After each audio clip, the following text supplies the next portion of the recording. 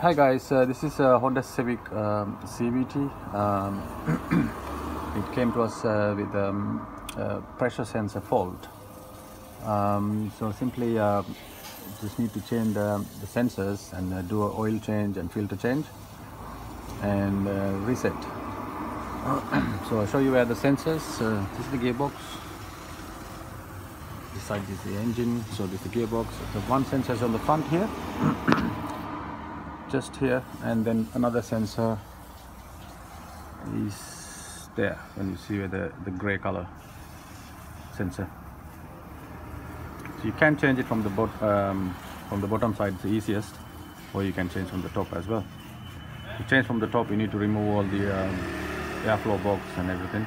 Um, um, easiest thing to do from the bottom. You see? Like this If you need our help for this job, please uh, call us. Um, if you have any questions, please call us. We are Mr. Carmax Limited Harrow. It's basically DIY job, but if somebody need our help or do it in our workshop, please call us. Many thanks for watching. And this type of gearbox is, comes with this shape, Honda Civic.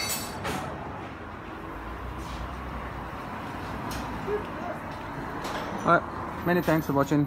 If the video is helpful, please uh, don't forget to subscribe and like our channel. Thank you.